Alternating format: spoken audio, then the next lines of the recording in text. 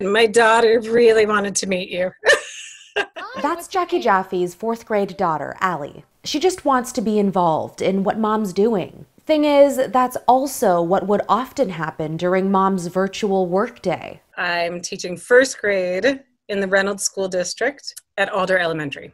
She'd come running in here. She wanted to meet my kids. It just became very clear that if we could have our own separate spaces, that would be good. Because she says it didn't feel safe yet to work physically in the school building, this is now her workspace.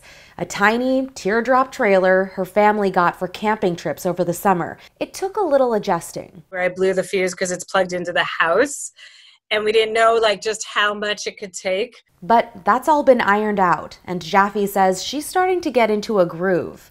Is there somebody else who has an idea? Still, like we've heard from other teachers, things are not easy. I've got kids who have not done any work at all, so I really don't know where they're at. I've got a couple who've only been online once or twice. And one of her students hasn't said a word in class since the beginning of the year. That's despite logging into class every single day. I'm worried. I mean, this is a population I'm worried about anyway, in general. That's because she says many families at the school are low income and underserved. They were already struggling before the pandemic. We've got a lot of kids who are just not ready they're just not at grade level. But Jaffe says there are some positives. Sometimes she can better gauge if a child needs more help on a certain subject. And I hear mom feeding him the words.